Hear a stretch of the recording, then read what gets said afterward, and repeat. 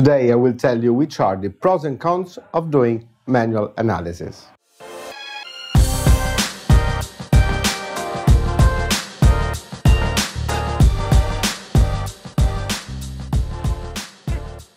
Hello everyone, I am Riccardo and on a daily basis I help the world's best brands become more profitable by investing in the consumer experience. If you didn't subscribe to my channel, please do it right now. You will receive an email every time I publish a new video.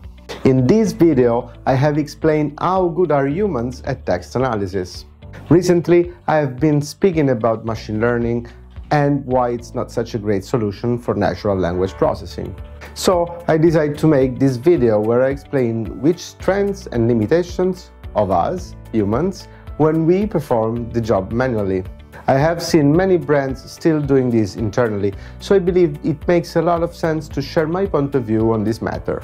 Usually, companies that sell products and services to a large number of individual customers receive a huge amount of feedback. Online reviews, customer service data, or open answers to the NPS surveys are common sources of feedback. If properly analyzed, this feedback can deliver the most valuable insights. For this reason, brands start to analyze these texts and many of them don't use natural language processing or other technologies, but they try to do it manually using manpower.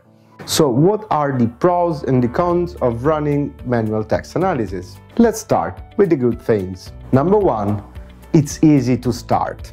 In fact, starting a human analysis is quite simple. Once we agree on the dictionary and the topics that we want to research, we just need to start reading and write down the annotations. Number two, it's easy to reach good quality.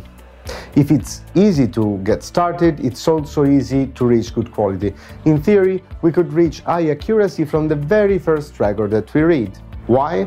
Because our interpretation capabilities have been trained during our life, day by day.